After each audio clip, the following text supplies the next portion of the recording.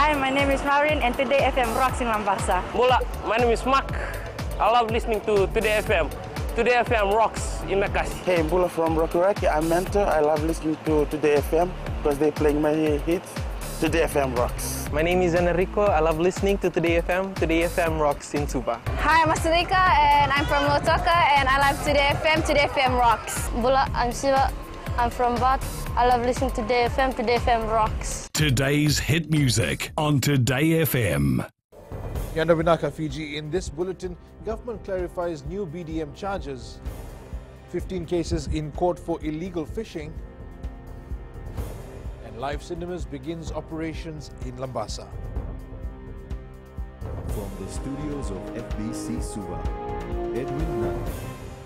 Attorney General Aiyaz Sayed-Khaiyum has clarified that it will not cost Fijians $3,000 to get legally married. This follows misinformation regarding the hike in registration fees stemming from an increase in charges for some services at the Birth, Deaths and Marriages Registry. Said Kayum says the $3,000 is a fee for civil marriage celebrants, people who are certified to conduct marriages. Uh, we saw some people saying that now to get married you have to pay $3,000. It's a ridiculous proposition.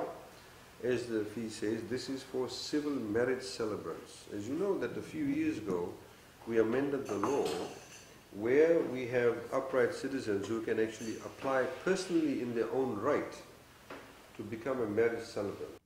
The Attorney General says the prices for reprinting the various BDM certificates was last reviewed 19 years ago. He says Fiji still has relatively low costs for birth certificates and other documents when compared to South Pacific neighbors. Samoa, to get a certified copy of a birth certificate cost Australian $40, which is Fijian $59. In Fiji, it now costs only $10. In uh, Vanuatu, for example, if you uh, uh, have a certified copy of birth certificate, Vanuatu cost is about 28 Fijian dollars. So again, ours is only $10. The ban on Kawakawa and Donu is not to be taken lightly as 15 cases are now before court. In what could be the first of its kind, FBC News can confirm that people have been taken to task after they were caught receiving a 600 kilogram shipment of the banned species. Fisheries Permanent Secretary Craig Strong says all the banned Kawakawa and Donu confiscated were documented, photographed and securely stored at nearby fishery stations until investigations are complete. Strong says vessel operators and the public need to work with the authorities to ensure the sustainability of Kawakawa and Donu. So these are some of the files that are now in process. The, those two vessels that um, that um, we were involved, we were very happy with the level of um, cooperation um, that that took place. Um, so the, the update um, essentially is, is one. Uh, they're in the, that's one of the files that are in process for for, for prosecution. A new partnership between the Agriculture Ministry and New Caledonia, New Caledonia seeks to increase local livestock production. The ministry's breeding program is one of the key areas being looked at under the deal. Minister for Agriculture Dr. Mahendra Reddy says New Caledonia will help Fiji develop specific programs for livestock farming. Dr. Reddy says this agreement will also help Fijians indulge in commercial farming. Looking at uh, partnering with New Caledonia in terms of assisting us in the embryo transfer program and multiplication of that here. There are other areas uh, within the agriculture sector, for example, uh, sharing genetic resources. The Fiji Pediatrics Oncology Unit has noted a major increase in the survival rates of child cancer patients. Dr. Losalini Lewaningila, a pediatrician at the CWM hospital, says this is a result of the ongoing partnership between Fiji and New Zealand. Dr. Lewaningila says the ongoing training of Fijian doctors overseas has enabled them to provide better treatment for patients in Fiji and those from neighboring islands. So following all these efforts, the survival of, of our pediatric oncology cases have drastically improved. Survival rates have improved as well.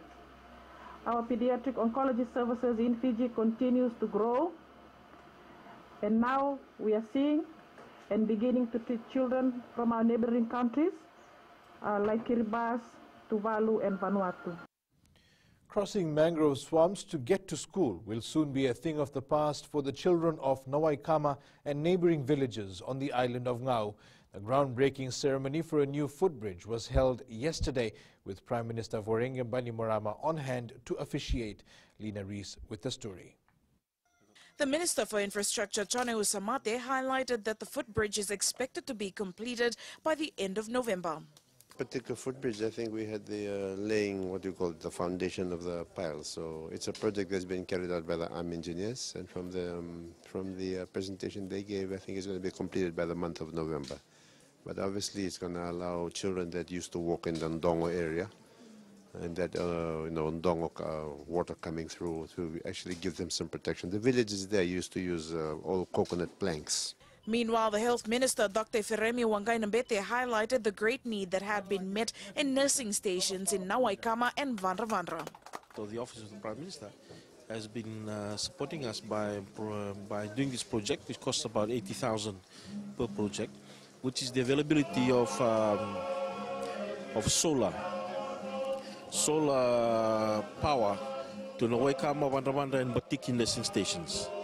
Uh, so that's being commissioned, the ones in uh, Vandra and Nawaikama. Uh, Batiki is finished, it's going to be commissioned later. Dr. Waqainabete also revealed that a nurse practitioner and four other nurses will soon be posted to assist health officials currently serving in the Lomai Viti province. Rees, FBC News. Hundreds flocked to the Gurbachan Singh Mall in Lambasa yesterday to experience what it's like watching movies on the big screen. Live Cinema opened two new cinemas at the mall situated along Main Street in Lambasa. The $1 million investment by businessman Charanjit Singh has become a hit since the cinema opened doors at 9 a.m. Supervisor Muhammad Hussain says it's been an exciting day.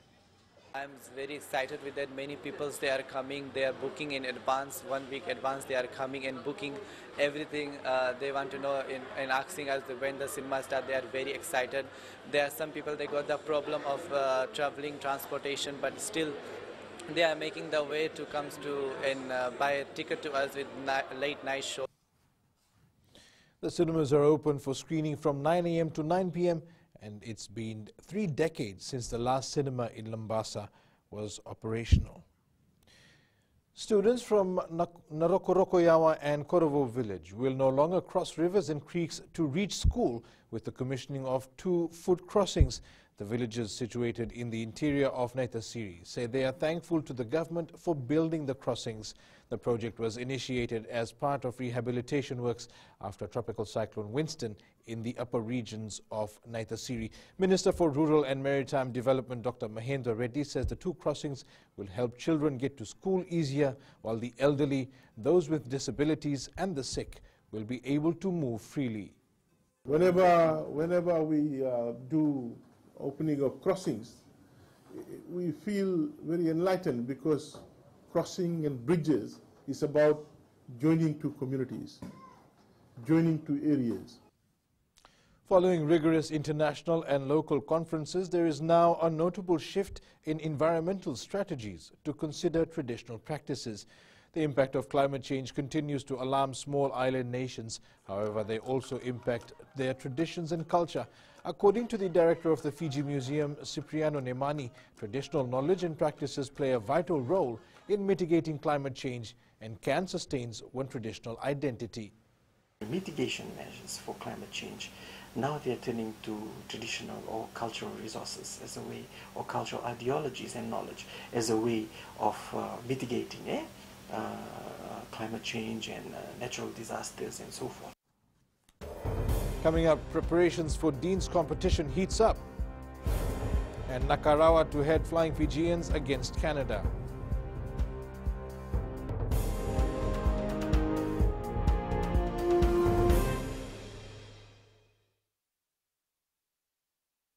langue lago veteranu lago itabua lago do talita na barrongo na bula fm nambandu na seri. Bula Alang gonoa, ilu toka du talita kana bula fm berarti nambandu na seri.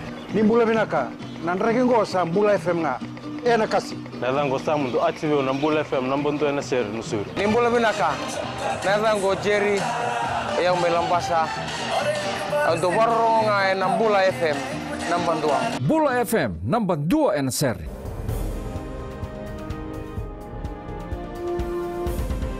Welcome back. The Vodafone Deans Under 18 semi-final between Cuvu College and Ratu Kadavulevu School this weekend is building up to be an epic battle. With Cuvu backed by the Nanonga province at home and RKS fixed on defending its title, the two finalists from last year are set to light up Lawaqa Park on Saturday afternoon. Players from Cuvu have proved their worth in the competition following last week's quarterfinal and they will be out they will go all out again this weekend. Cuvu College is ready for the match. Yes, we understand that RKS is the title holder. We wish them also the best. Please uh, play good rugby. But yes, Cuvu College is prepared. Fiji Airways flying Fijian star lock Leone Nakarawa has been given the captaincy role for round two of the Pacific Nations Cup match against Canada. Coach John McKee made a, change, made a range of changes to the team, with Dominiko Waqaniburotu given a break after playing three consecutive games. Josh Matavesi will start at fly half, pairing up with Henry Senaloli, Seniloli at halfback. Semi Radradra has recovered well and will get his first run in the Flying Fijians jersey this year at outside centre alongside Jale Vatubua. The wings will feature Eroni Sau and Joshua Tuisova, while Kini Murimurivalu starts again at fullback. The Flying Fijians face Canada at 5.15 p.m. tomorrow at the ANZ Stadium in Suva. Major changes have been introduced to the 2019 National Rugby Championship. Teams will now be rewarded for strong defense with a goal line dropout when the ball is held up in the in-goal area. They will also be recognized for aggressive territorial kicking with the introduction of a 50-22 play. Attacking teams that boot the ball indirectly from open play or a free kick within their own half and land it either within their opponent's 22 or touchline will earn a line-out throw. Defending champions, the Fijian Drua will take on Brisbane City on the 31st of this month. Fiji's first home match will be against Western Force a week later. Day three of the 2019 Inkk Mobile Battle of the Giants tournament has been rescheduled due to unfavorable ground conditions. Fiji football chief executive Mohammed Yusuf says the matches which were supposed to be played today will now be played on Sunday. The semi-finals and final have been rescheduled to next weekend. The Fiji FA says the ground condition still has not improved, but they're hopeful the weather will be fine in the next two days. In Sunday's day three matches, Nasinu will take on Nandi at 11 a.m. Lambasa takes on Tavua at 1 p.m. Rewa plays Lautoka at 3 p.m. and Ba will play Suva at 5 p.m. Boxer Savanathan Naliva is well prepared for the task that's ahead of him. Naliva will get a second sh shot at getting the title of being the best boxer in Fiji after his match in February against Joseph Kwajo was prematurely stopped because of poor ring conditions. The referee had stopped the match in round six as the ring was too slippery to continue the match. Naliva says he's happy that the fight contract has been signed. I have been waiting for this moment and I am thankful that I have now signed my contract. So I will do my very best to come out on top on the 26th of October.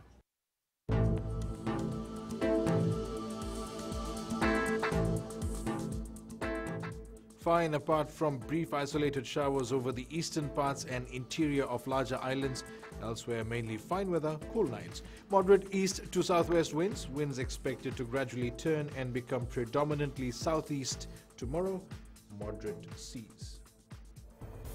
And that is your FBC Morning News. Remember to join us at 1 p.m. and 7 p.m. for our major bulletin. For these stories and others, you can also tune in daily to our sister radio station Gold FM. That's it from me for now. Have a good morning.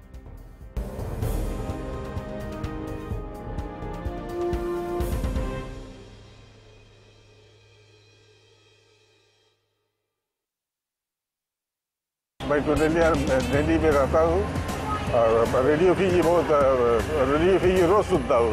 मेरा नाम सुखराम है मैं नंदूरू नौसोरी में रहता हूँ। हमेशा मैं radio Fiji to सुनता हूँ। रेकी रेकी ओने नाबू हमारा नाम है विनोद लाल फेंटम रेडियो फिजी टू।